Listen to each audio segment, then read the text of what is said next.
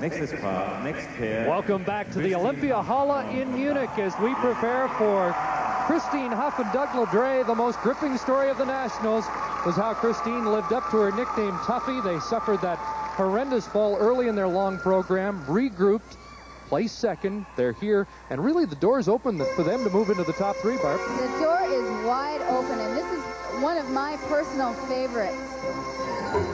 Let's see how it goes.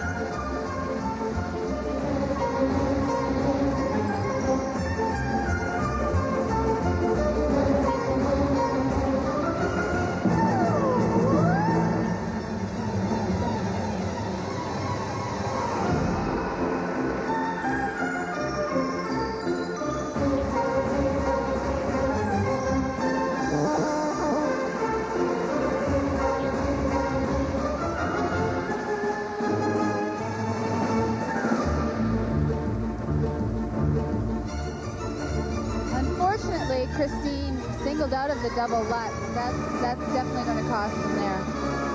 Especially in light of the fact that the majority of the top skaters here are doing double axels in this short program, which is a considerably more difficult element than the double Lutz they just tried.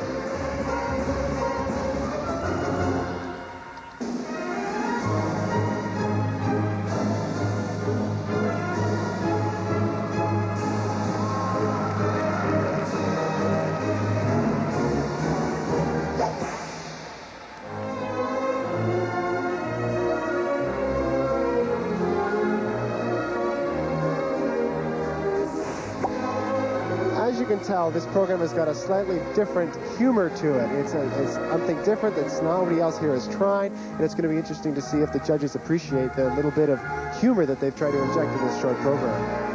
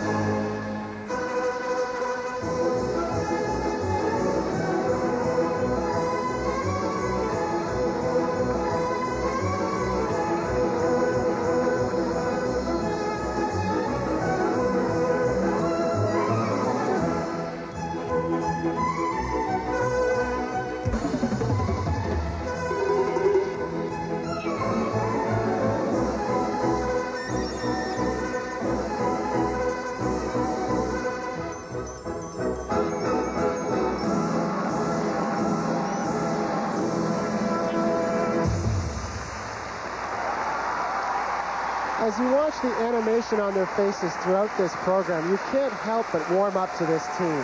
They go out there and attempt to have a really good time, obviously doing it. That's something that they truly love to do, and that's skate. Well, I love the program, but I just think that they're going to be pretty disappointed um, with, with the marks. There has to be a deduction for the missed element. Well, there's a sea of red here cheering them on, that's for sure. 21-year-old Christine Hough and 29-year-old Doug Ladret. Here in the replay, we can see that Christine really didn't get a nice setup into that jump. She obviously felt rushed and tried to do it sooner than she probably would have liked.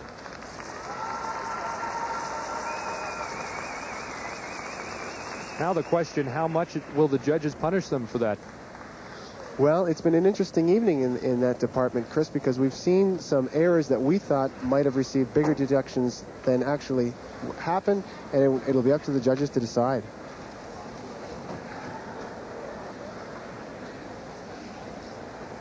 Their best finish at the World Championships was last year in Halifax when they finished sixth. They didn't qualify for Worlds the year before, and Doug said he did a slow burn watching the World Championships on TV from Paris. There's nothing like missing out on a World Championship than to get some to get you really going and want you to get out there and train harder so that you make that team next year and the opportunity to skate at a World Championships.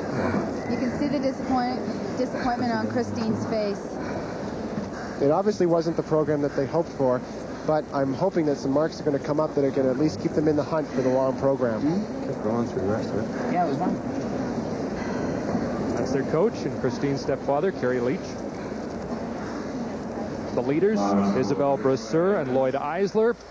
And here are the first set of marks for Hough and Ladret, and they are disappointing. Check judge 4-5, 4-7, 4-7, and as you can see, those marks Those for the required elements are quite low. They're very low. Let's hope that uh, the next set of marks are much higher.